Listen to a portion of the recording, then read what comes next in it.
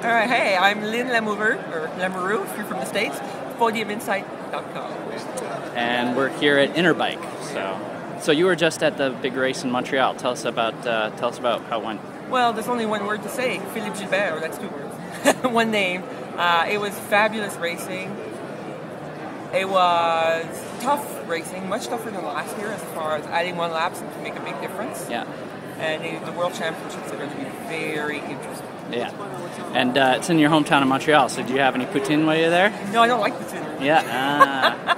One of these weird Quebecois that don't like poutine. Ah, that's unfortunate. But I had uh, maple syrup stuff. Oh. Nice, nice, very nice. Yeah. So, what are you doing here at Interbike? Um, here, my main reason to be here is actually Cross Vegas tonight. And the second reason is to get swag.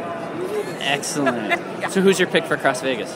Tonight, uh, Jeremy Powers. Jeremy Powers. Yeah. Why?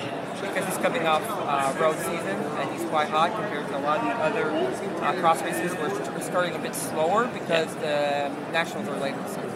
What other uh, big events have you got on tap for this year? Uh, after this, it's all cross. So uh, definitely all the USGPs, and I'm working on the rest of my schedule. Excellent. Okay.